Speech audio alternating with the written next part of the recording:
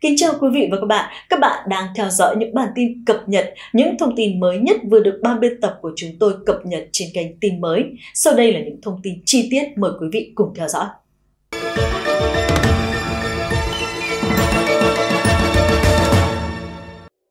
Bản tin lũ lụt Trung Quốc mới nhất ngày 16 tháng 8 năm 2023 Thưa quý vị, giới chức Trung Quốc hôm 15 tháng 8 cảnh báo lũ mạnh sắp diễn ra với các thành phố ở hạ lưu sông Trường Giang trong bối cảnh nước vẫn đang đổ về hồ chứa đập Tam Hiệp.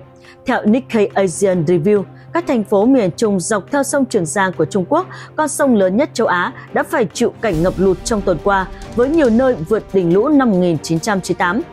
Trên khắp đất nước, hơn 300 con sông tràn bờ và 91 người đã chết hoặc mất tích.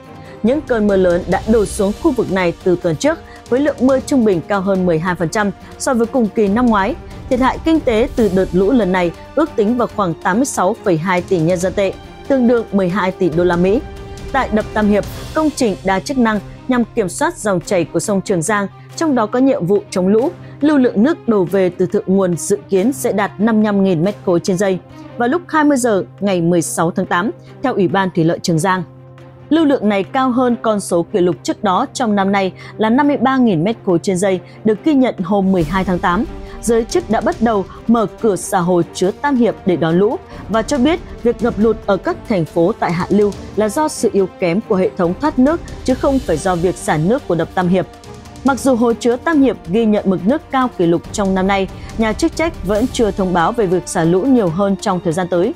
Tuy nhiên, người dân ở thành phố Vũ Hán và các tỉnh An Huy, Giang Tây và Chiết Giang, những khu vực hạ lưu Trường Giang bị ảnh hưởng nặng nề nhất bởi mực nước sông trong năm nay đã nhận được báo động đỏ về lũ hôm 15 tháng 8, mức cao nhất trên thang cảnh báo lũ 4 cấp độ.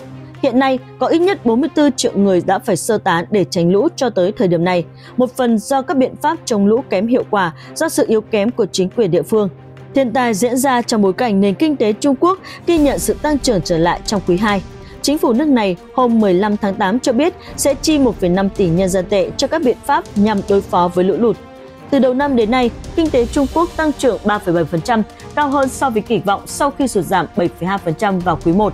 Chính phủ cho biết sự phục hồi kinh tế ổn định trong nửa đầu năm sẽ là nền tảng vững chắc cho tăng trưởng bền vững trong nửa sau của năm.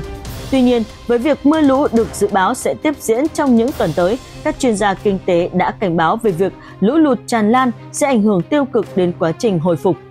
Chính quyền tỉnh Hồ Bắc Trung Quốc sử dụng máy bay trực thăng để tăng tốc sửa chữa đê bị vỡ trên sông Phù Hà hôm 15 tháng 8.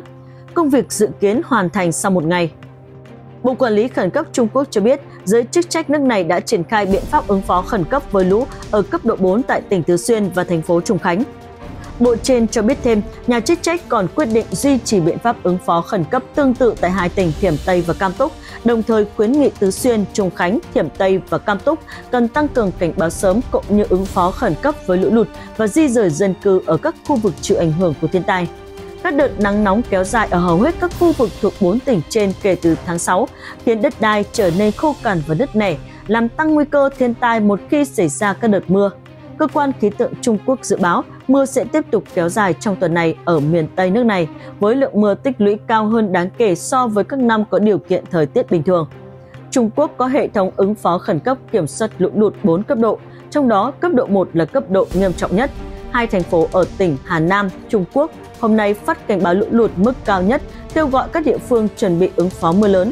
Thành phố Huỳnh Dương và Trường Viên thuộc tỉnh Hà Nam nâng mức ứng phó kiểm soát lũ lụt từ 2 lên 1, cao nhất trong tháng 4 cấp độ của Trung Quốc, cảnh báo nguy cơ vỡ đập và lũ lụt bất thường xảy ra đồng thời. Những trận mưa lớn mùa hè năm nay đã gây thêm áp lực cho nền kinh tế lớn thứ hai thế giới.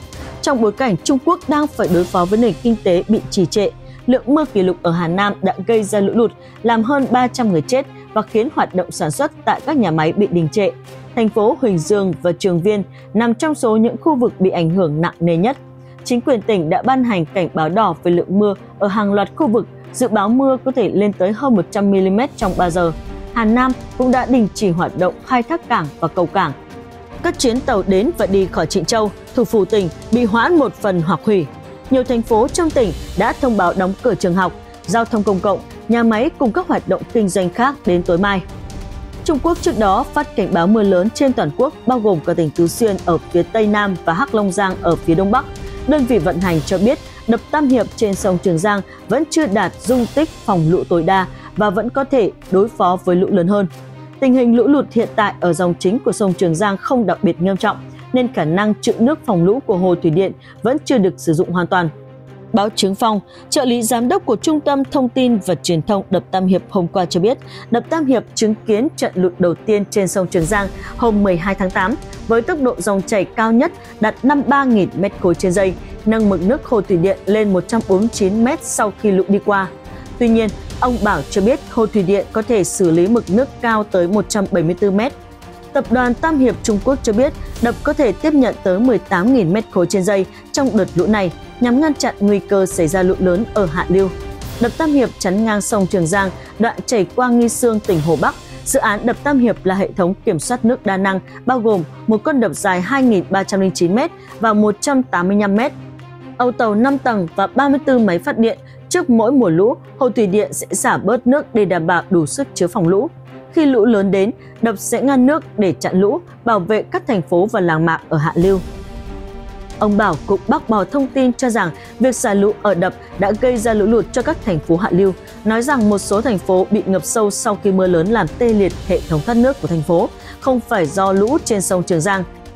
Đập Tam Hiệp đã đóng vai trò lớn trong việc kiểm soát lũ kể từ khi nó bắt đầu hoạt động.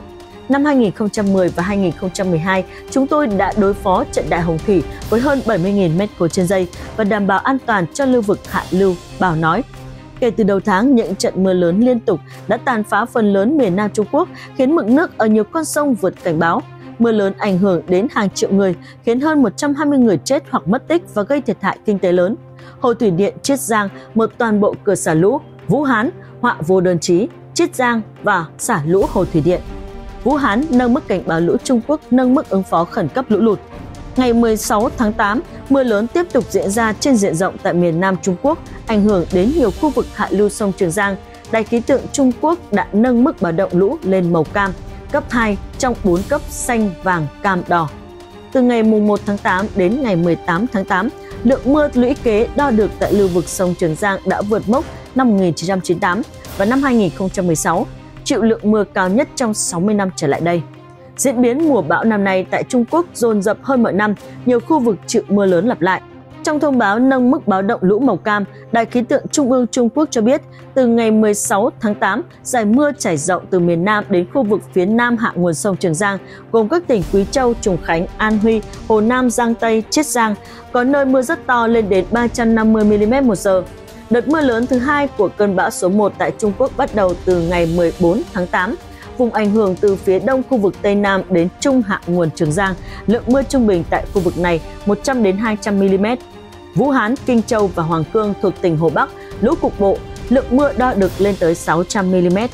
Theo tìm hiểu, từ ngày 11 đến ngày 13 tháng 8, khu vực Đông Tứ Xuyên, Hoàng Hoài, Nam Hoa Bắc Trung Quốc sẽ tiếp tục hứng chịu đợt mưa kéo dài tiếp theo. Ngoài thiệt hại về người và tài sản, đợt mưa lũ năm nay gây ảnh hưởng rất lớn tới kỳ thi đại học của những khu vực trên. Thưa quý vị, mưa lớn gây lở đất tại các tỉnh Quý Châu, Hồ Bắc cũng đã khiến ít nhất 17 người chết và mất tích khi lũ lụt tàn phá miền Nam Trung Quốc. Một trận lở đất xảy ra tại khu vực miền núi của thành phố Đồng Nhân, tỉnh Quý Châu sáng ngày 16 tháng 8, gây thiệt hại cho ba ngôi làng. Giới chức địa phương cho biết 6 người hiện mất tích, ít nhất 145 người phải di rời và 6 người bị mắc kẹt đã được giải cứu. Hình ảnh từ hiện trường cho thấy nhân viên cứu hộ mặc đồng phục màu cam đang lội qua bùn và đống đổ nát tại Đồng Nhân do nhiều cơ sở hạ tầng bị hư hại. Ít nhất 19 ngôi nhà bị trôn vùi và 60 ngôi nhà khác bị hư hại. Các cảnh quay trên không cho thấy một vùng rộng lớn được cây xanh bao phủ hiện bị thay thế bằng bùn đất. Một trận lở đất khác cũng xảy ra sáng cùng ngày tại thành phố Hoàng Cương, tỉnh Hồ Bắc, khiến 8 người chết và trôi vùi 5 ngôi nhà. Một số khu vực danh lam thắng cảnh buộc phải đóng cửa tạm thời vì lý do an toàn. Nhiều khu vực khác nhau của Trung Quốc đã bị mưa lũ tàn phá từ tháng 6. Ít nhất 120 người đã chết hoặc mất tích do các thảm họa liên quan đến lũ lụt, trong khi thiệt hại kinh tế lên tới khoảng 41,6 tỷ nhân dân tệ, khoảng 5,9 tỷ đô la Mỹ.